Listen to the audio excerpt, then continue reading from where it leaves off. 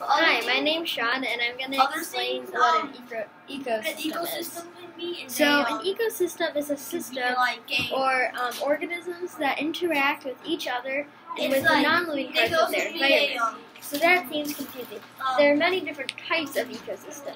Here's one of the types. Imagine that there is a dead ladybug. Um, um, oh yeah, and um, lots of bu- bugs are going to go and eat it.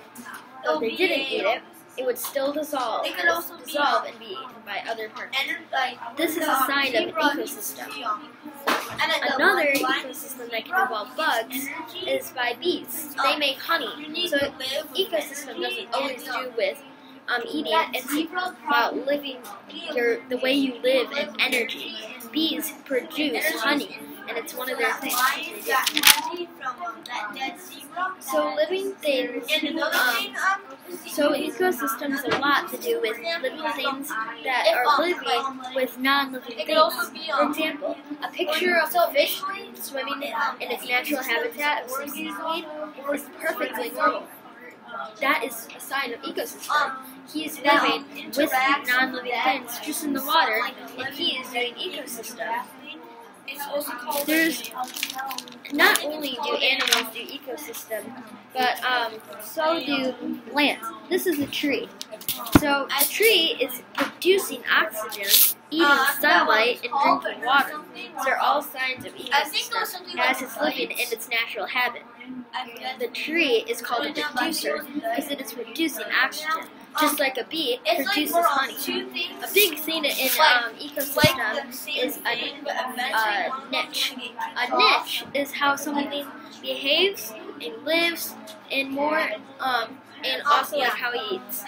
Now, let's say that there are two giraffes fighting over a piece of um, a big leaf. oh yeah, Now, I finished it. Um, either one, a bite it's that, um, and it's a natural thing that they need to survive. Um, I mean, like one, like, one of the giraffes is going to succeed and get that oh, what they need. The other is either going to leave and try to find for that natural thing they need somewhere else, or sadly die. But it's all part of the life circle. And speaking of that, the the food chain, the circle of life, is a big part of this. Where you get Imagine the shark eats a lemon. Uh, it's all about the shark is an ecosystem. That is another form of and that is what an thing in ecosystem is all about energy, the power needed to do work, such as staying alive.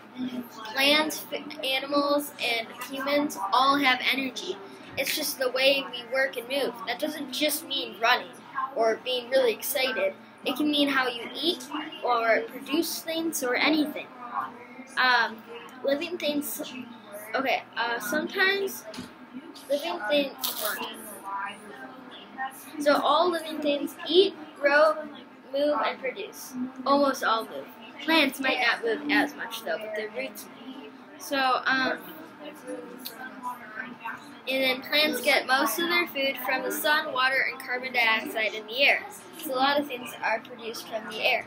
Um, living things need food to give them energy. So we're all eating food. Animals you see eating food, whether it's a bug and fruit, one that's alive, one that's not alive, or something just eats something that that's alive, or something only eats something that's not alive.